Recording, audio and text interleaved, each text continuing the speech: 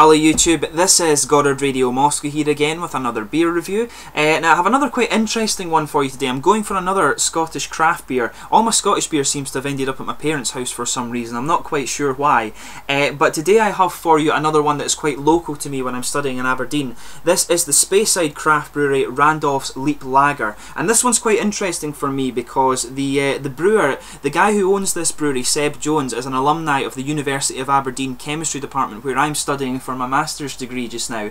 Uh, so this one should be quite interesting. I'm sure I've actually seen this guy's name on some of the boards. Uh, in our university, you get awards for uh, for achieving in this, the four different disciplines of chemistry and I'm sure I've seen this guy's name on one of the boards that are up in the department on one of the awards. He's obviously won one of these in the last few years. But anyway, as is usual with my beer reviews, I'll just take you through a little bit of a history of the brewery itself. I've been and researched that for you, but if you are simply just interested in the tasting of this beer, then feel free just to fast forward towards the last few minutes of this video and you will catch that. Now for those of you watching outside of Scotland, just so you can get a bit of an idea where exactly we're talking about that this brewery's from. Uh, this is from a little town called Forres, which is just by Elgin. And uh, I always describe Scotland as looking like a bit of a monster's head. So in the east, by the monster's nose, you have the city of Aberdeen, oil capital of Europe. And then as you go over to the west, the monster starts to get a bit of a mohawk thing, and you get this sort of corner to it. And Inverness is just in the sort of water inlet here, and then you go down to Loch Ness. But Elgin is right in the middle on the north coast uh, between these two cities. You get a really beautiful train journey between these two cities, so definitely worth doing it if you're visiting Scotland from outside of the country. But um, Forres is just, I believe, is the next stop along on the train from uh, from Elgin. But this region is called Speyside, and this is very very famous for its whisky distilleries. Some of the ones that you would find here, they're called. Uh, this is a list of them that I've researched for you. There's Aberlour, Balvenie, Benriach, Benromach, Cardhu, Cragganmore, Dallas Dhu, Glen Grant, Glen Moray, Glenfarclas, Glen Fiddich, Glenlivet, Macallan, Speyside Cooperage, and Strathisla. So there's a lot of famous uh, Scottish whisky distilleries there, and the main reason for this is the fact that the water source up there is very, very pure, and it's very well known that you get a lot of the good whiskies up there. Some of the famous ones looking through that list, I've heard of Benriach and Balvenie, they're quite famous. Cragganmore, uh, Glen Moray is another famous one, and Glenfiddich. Macallan is a very, very, they're a, I believe they're more, they're quite a premium whisky brand, but definitely look into these. Maybe I should start doing some whisky reviews for you at some stage, but that's a very expensive hobby. But um, this brewery is another very, very new uh, craft brewery that's popped up with the recent sort of boom in Scottish craft brewing. Other uh, local craft breweries in the local area are the Windswept Brewery from Lossiemouth. I've done one of their uh, beer reviews already. There's the Cairngorm Brewery from Aviemore, and there's also Brewmeister in Keith, who I believe at the moment actually hold the record for the world's strongest beer. Um, but obviously there are others nearer Aberdeen and Inverness as well. And uh, you've seen me do a few Brewdog reviews and there are a couple more breweries by Inverness as well that I'll review in the future. But anyway, going on to this brewery itself, this brewery was founded by Seb Jones who as I mentioned is a former chemistry student of Aberdeen University, one of the four ancient universities of Scotland, uh, but he apparently had been brewing on and off with his dad since the age of 13 and they used to experiment with a lot of these different home brewing kits that you can pick up, but the experimentation tailed off when Seb entered his senior years at high school and he started playing music and stuff like that. But this uh, interest was rekindled after he had studied uh, chemistry at Aberdeen University. But Seb opted after, his, after he graduated to choose Moray as the location for his brewery and he received funding from the Moray Business Gateway which is a public, uh, publicly funded organisation that helps businesses get off the ground and he also received support from the Prince's Scottish Youth Trust who gave him a loan to pay for the training in the brewing process which he did in Sunderland in England at Brewlab. But Seb seems to have gone through kind of various hurdles from reading through his statement here on the website, getting different organisations uh, to get the brewery off the ground and help him out with that. But he says that it was very difficult to coordinate the funding, the premises and the equipment all at the same time. And it took him quite a while to choose the actual premises for the brewery and that he has just now and that he needed investors to help him with this. But he said that the investors were uh, very, very open to this idea and very enthusiastic about this and he spoke to several people apparently, and uh, he always he received several investment offers, and this helped him to get the brewery um, off the ground. But in the letter that he has on the website there, I'll put the website link in the description for you. He's written sort of a, a kind of open letter to the, the fans of the brewery, if you like.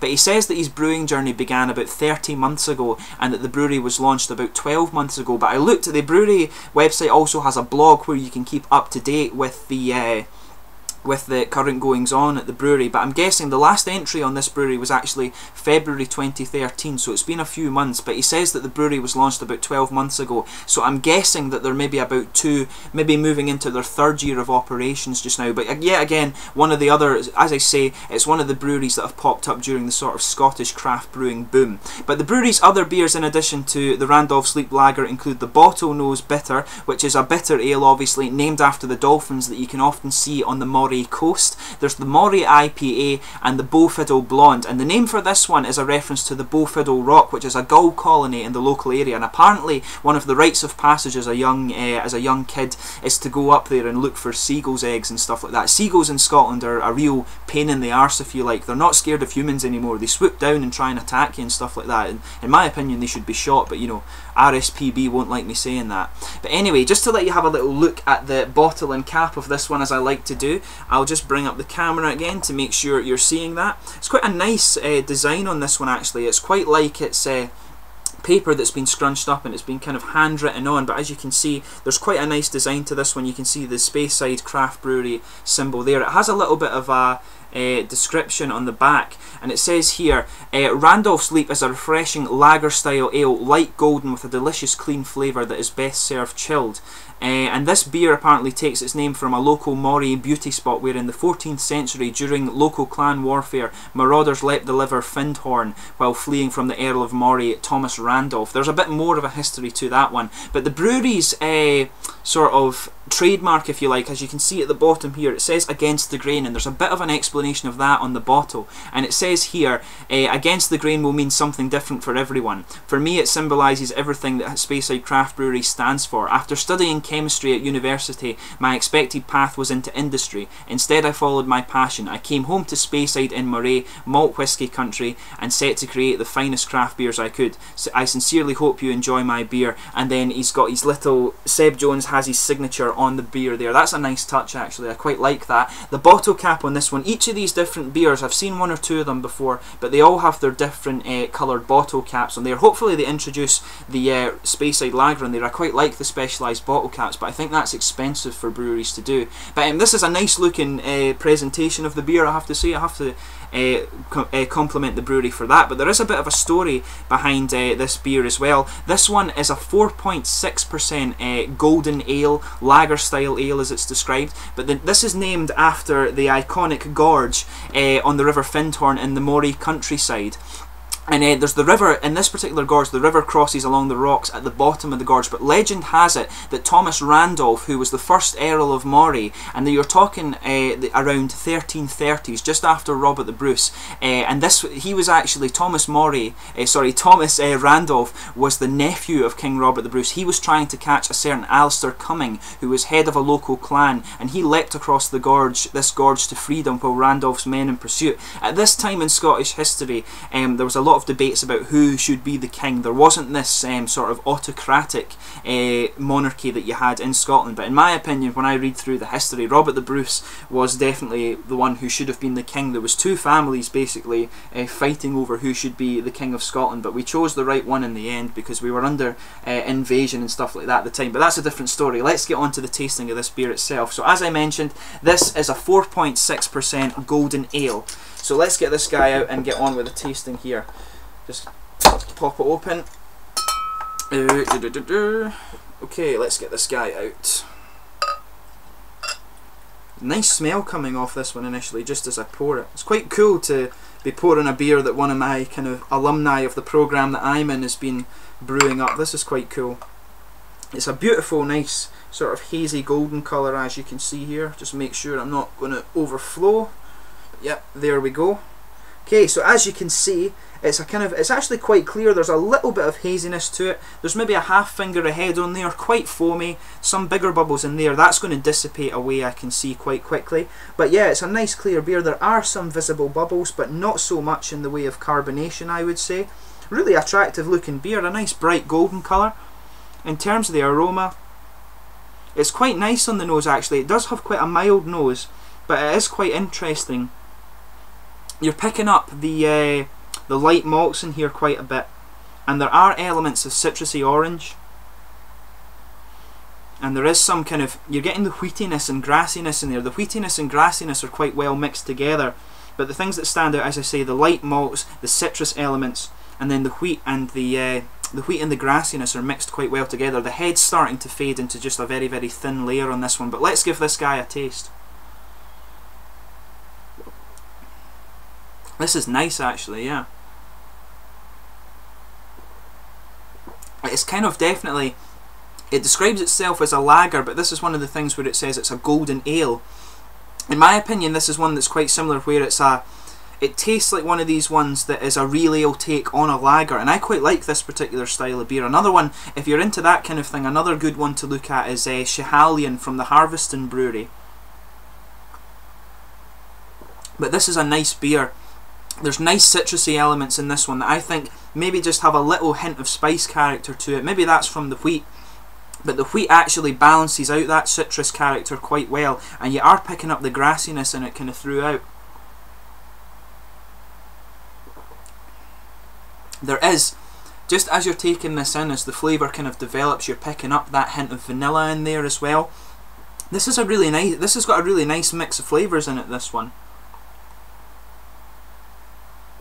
A lot of kind of beer geeks kind of dismiss the idea of lagers, but it's one thing that the Scottish craft breweries seem to do quite well is do these real ale, real ale takes on lager and they do it really well. As I say, Harviestoun Schiehallion is another one and this is definitely another good one up there as well.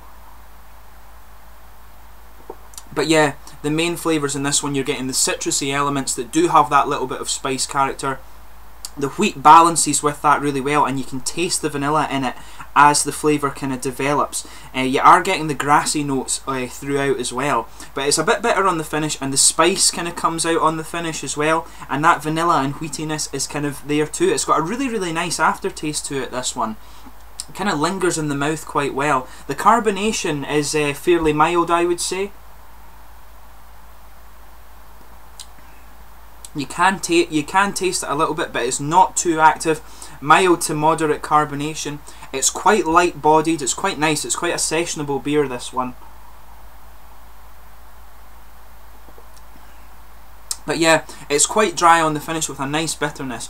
This is a really really nice. Um, craft ale take on a lager style of beer. Many beer geeks kind of, as I say, many beer geeks kind of dismiss lagers as not having much flavour, but you know some of them really do. This one does. Harviestoun Schiehallion does. So it's a beer. this is a beer style I personally quite like. Beer is subjective, you know. You'll like different things from me and stuff like that.